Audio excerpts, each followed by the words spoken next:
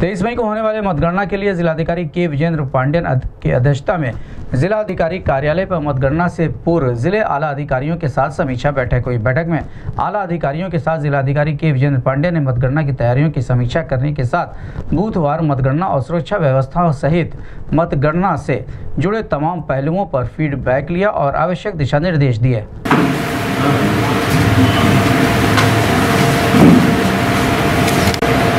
Sir counting की तैयारी के संबंध में सर। विभिन्न बिंदु है सर उस पर एक डिस्कशन हो जाए इसलिए बुलाया गया आपके निर्देश अनुसार सबसे पहले कहा गया परीक्षा कंप्लीट कहा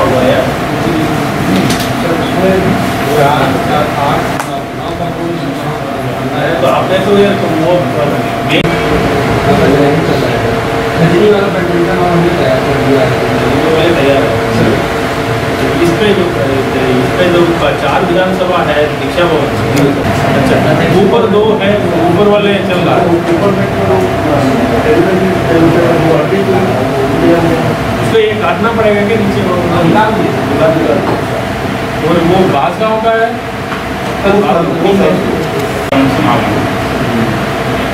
तो वहाँ पे सड़क व्यवस्था प्लस यारो सदर में बैठेंगे वहाँ पे। और इसके लिए चार टेबलें